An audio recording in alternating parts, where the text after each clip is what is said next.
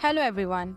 Today on World TB Day, we are highlighting the efforts of Allama Iqbal Open University and its Office of Research, Innovation and Commercialization in raising awareness about tuberculosis through a poster competition.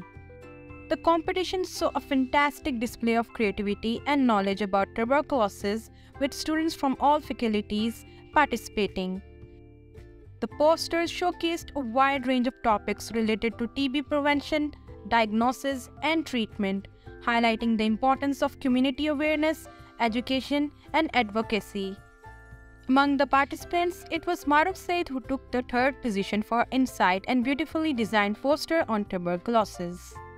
Her poster stood out for its visual appeal and informative content, which not only highlighted the importance of early detection and treatment of TB but also emphasized the role of community awareness and support in fighting this disease.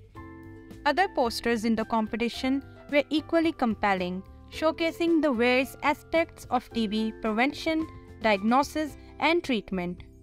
Some posters focused on the challenges of TB in vulnerable populations such as children and people with HIV whilst others emphasize the need for research and innovation in the TB treatment.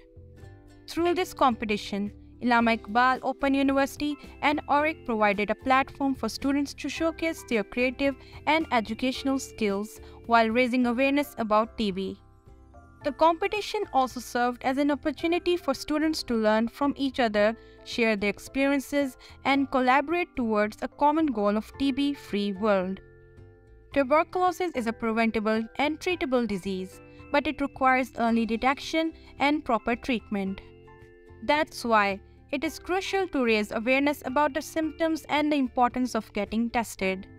By spreading the word about TB and advocating for better TB policies and practices, we can help reduce the burden of this disease and improve the health and well being of millions of people worldwide. Let us all join hands in the fight against tuberculosis and work towards a healthier and TB free world. Congratulations to all the participants and especially to Mahrukh Saeed for outstanding work.